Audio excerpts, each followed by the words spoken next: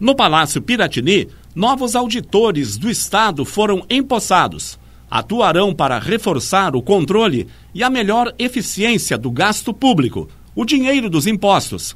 Na cerimônia, o governo Sartori foi destacado por ter realizado concurso e transformado o Estado num dos maiores em transparência de informações públicas do Brasil. Os 17 auditores do Estado, eles vão ser lotados na nossa Contadoria Auditoria Geral do Estado.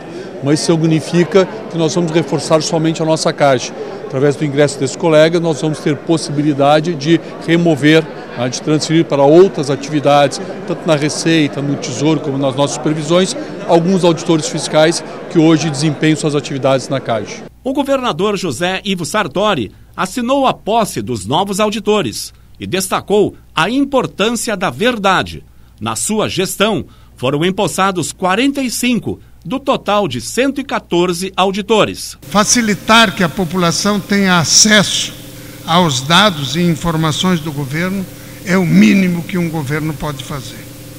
Então, suprir as vagas de, auditores, e eu acho que a CAGE ajudou muito a desenvolver muitas ações nesta área, especialmente o aplicativo Pilas RS, a reformulação do portal da transparência, para ter acesso, inclusive, a, integral a todos os contratos existentes dentro do poder público estadual, ou melhor, do poder executivo.